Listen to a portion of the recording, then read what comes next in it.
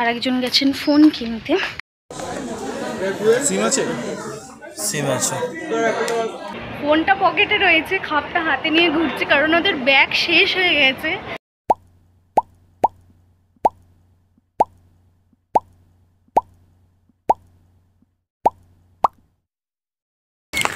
Hey guys welcome back to my channel আশা করছি তোমরা সবাই খুব ভালো আছো। So oh happy independence day to all আর আজকে শ্রাবণের একদম শেষ সোমবার, তো আজকেও আমি যাচ্ছি ভূতনাথে। বাবার কাছে চলে যাচ্ছি, বাবার মাথায় জল ঢালতে। যেহেতু আজকে শ্রাবণের শেষ সোমবার, তৃতীয় সোমবারে গেছিলাম, সেই ব্লগটা তোমাদের সাথে শেয়ার করেছিলাম। আর আজকে অনেকটাই লেট হয়ে গেছে বেরোতে। প্রায় সাড়ে চারটে বাজে, বিকাল থেকে ব্লগটা আমি স্টার্ট করছি। তো তো আরেকজন গেছেন ফোন কিনতে। আমি জানি না ওখানে ওনার কতক্ষণ সময় লাগবে, না লাগবে। আইফোন কিনতে গেছে। আমি জানি না কতক্ষণ সময় লাগবে। আর বলছিল যেহেতু বৃষ্টি পড়ছে, সেহেতু সে কী বলে, অটো করে বেরাবে। অটো অটো করে যাবে না, বাসে করে যাবে, জানি না বাট স্কুটি নিয়ে আজকে যাবে না। সো চলো যাই। গিয়ে আমাকে ভিআইপি গিয়ে দাঁড়িয়ে থাকতে হবে কিনা আমি তাও জানি না। তো চলো অটো ধরি, বাস ধরি, যাই, গিয়ে দেখি কি হয়, না হয়। সবটাই তোমাদের সাথে শেয়ার করছি। এখন এর জন্য টাকা আমি ভিআইপিতে নেমে অটো করে নিয়েছি। আমি যাচ্ছি অ্যাক্সেস মল ওখানেই আছে। তো আমি রাস্তায় দাঁড়িয়ে আর ওর জন্য ওয়েট করলাম না। আমি চলেই যাচ্ছি। তো চলে এসেছি আমি অ্যাক্সেস মলে আর এই যে ফোন আইফোন থার্টিন কিনেছে ও। আর এখানে উনি ফোনটাকে অন করে নিলেন। দেন ওনার যা আর কি কাজ আছে সেটিংস ফেটিংস কিছু করার আছে ফোনে, তো সেইগুলোই আর কি উনি করে দিচ্ছেন এখানে। আর সিম লাগিয়ে দিচ্ছেন উনি ফোনের মধ্যে আর কি। বাকি আমাদেরকে বলা হয়েছে যে গ্লাস আর হচ্ছে ব্যাক কভার ওটা বাইরের থেকে নিয়ে নিতে, দুটোই বাইরের থেকে নিয়ে নিতে বলেছিল। তো সিম লাগানোর পর বাকি যা কাজগুলো ছিল, উনি সেটাও এখানে আর কি আমাদের করে দিচ্ছেন। ফাইনালি কেনা। দেখো।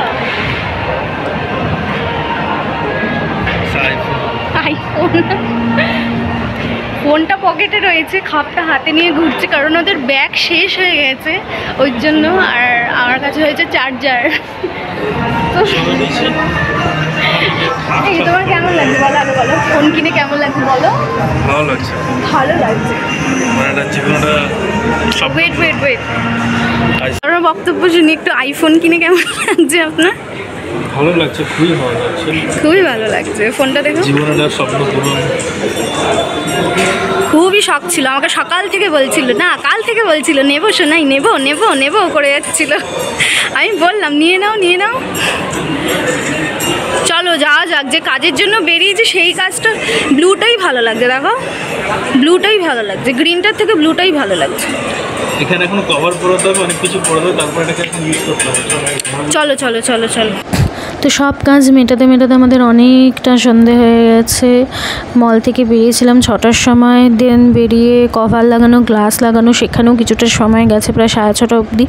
তো ওই জন্য আমরা স্কুটি নিয়েই যাচ্ছি। তো এটা শ্রীভূমি ক্রস করছি, প্রথমে বলেছিলাম স্কুটি নিয়ে যাব না বাট সেই স্কুটি নিয়েই যেতে হলো। যেহেতু এতটা দেরি হয়ে গেছে, তার জন্যই স্কুটি নিয়ে যাচ্ছি।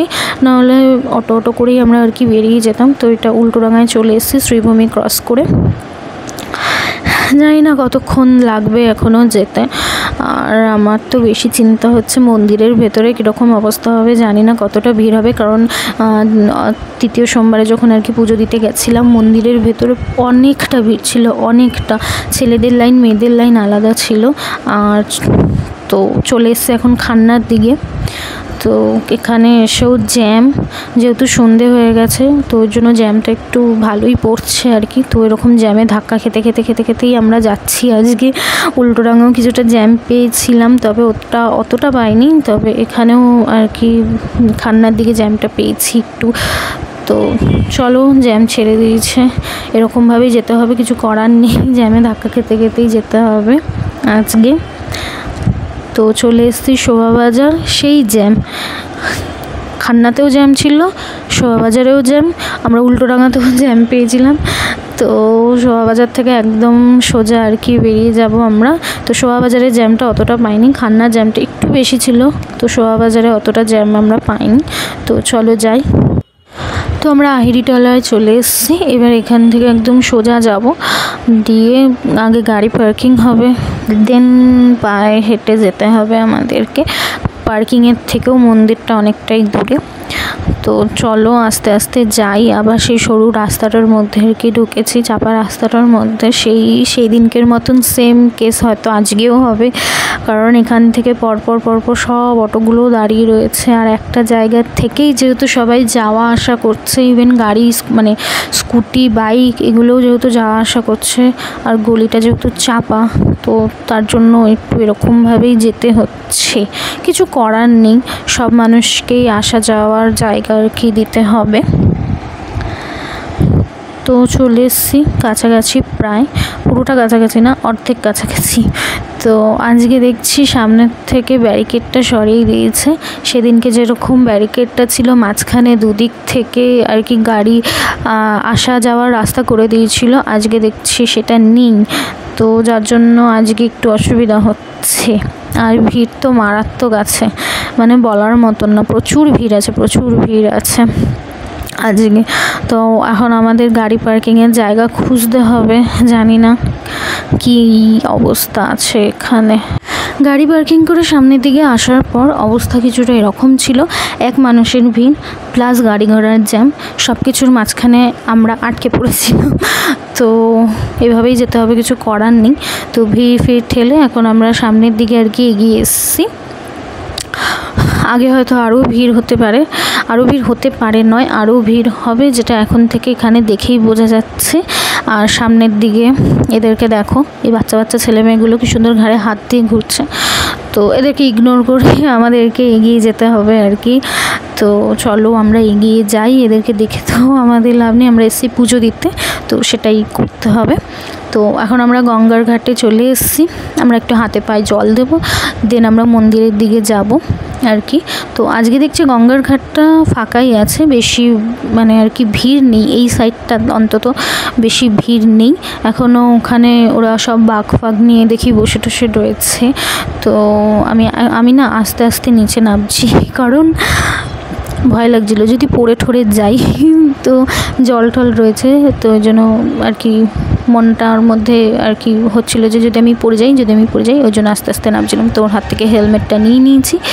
তো এখন আর একটু নিচে নামবে, নেমে হাত পা ধোবে। ওই গঙ্গার ওই সাইডটা আর কি ভিড় ছিল, এই সাইডটা কম ভিড় ছিল। এখানে সবাই স্নান টান করছে, বাচ্চা বাচ্চা, ছেলে মেয়েগুলো সবাই আর কি স্নান টান করছে। তো সন্ধেবেলায় গঙ্গার আর কি ঘাটটা দেখতে বেশ ভালোই লাগে, তাই না?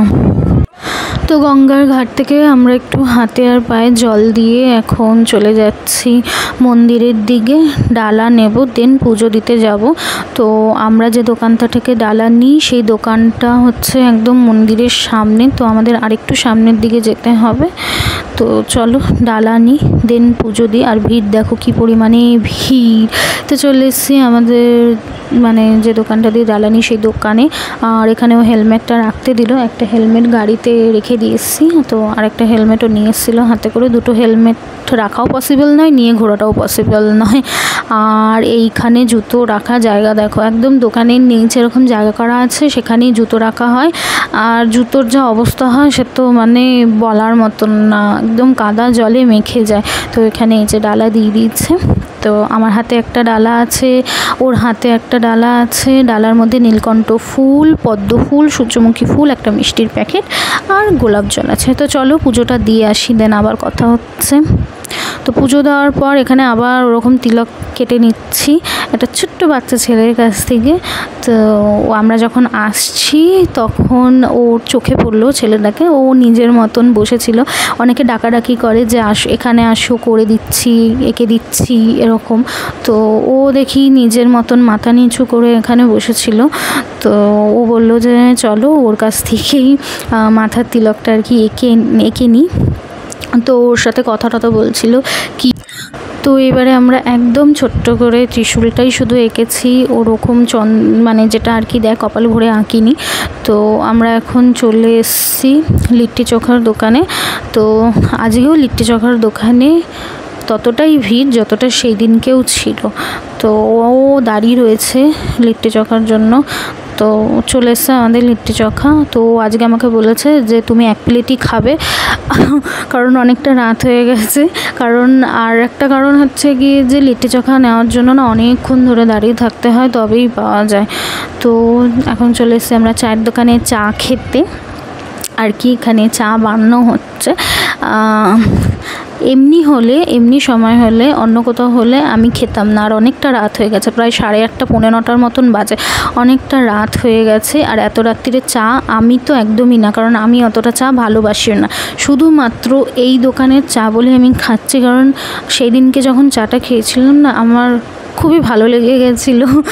তো এত রাত্রিরে শুধু এই দোকানের চা বলেই আমি খাচ্ছি, না হলে আমি সত্যি খেতাম না। চাটা আর ওনার চা বানানোর স্টাইলটা আমার হেভি লেগেছে। তো এখানে আবার কেমন হয় বলো তো? উনি কেমন করে চা দেয়? ওনাকে আগে যারা বলে যাবে, তাদেরকেই আগে উনি চা দেবেন।